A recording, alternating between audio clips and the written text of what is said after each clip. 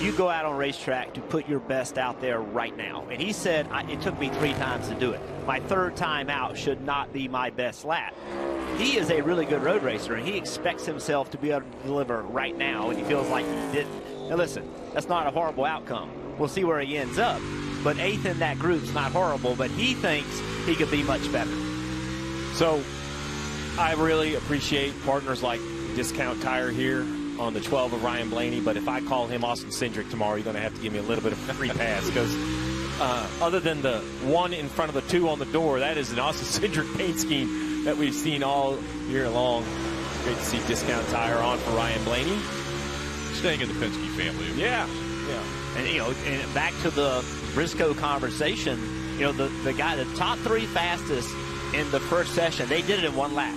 Didn't require two. That means their next time out, they got one lap on tires. And that's what you want to do. That's the goal.